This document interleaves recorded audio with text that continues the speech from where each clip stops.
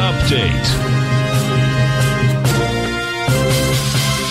Welcome, folks. We have the Dow Industrials trading up 197. Nasdaq is up 164. S&P's up uh, 23. Gold, gold contract down $27, trading 18.01 an ounce. We have silver off 43 cents, $22.92 an ounce. Light sweet crude up 85 cents, $76, 6 cents a barrel. Notes and bonds. The 10-year down one full point at 129.13. The 30-year a full two points and a half 18 ticks, that is 157.28 in King Dollar. King Dollar's up 545 ticks, trading 96.215.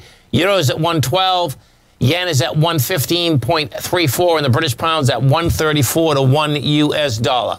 We get over and take a look at the S&P. Bottom line, folks, is that this thing's not done yet. I mean, it's, it's a little tricky in the Nasdaq, but the S&P just wants higher price. You rejected lower price out here this morning.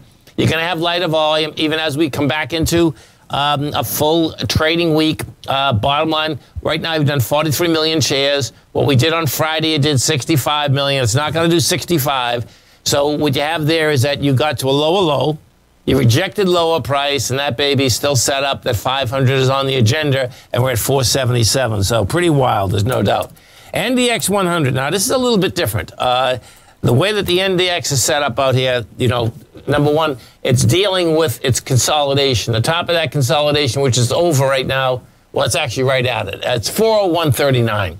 We are 401.19 rather. We're at 401.34 right now. You know, you can make, I can, I can still make the case that, yeah, you rejected lower price out here today. The real kicker on the NDX is going to be where we are at the close. And it looks to me like we, we are going to get a slight sell off as we did on New Year's Eve.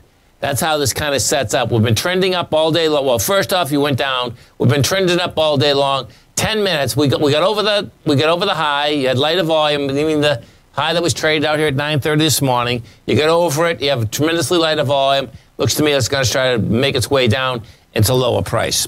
Gold, gold contract here. They pulled gold back. That being said, guess what? Gold's going into strength and it didn't break its swing point. You know, that says quite a bit. Stay right there, folks. Come right back.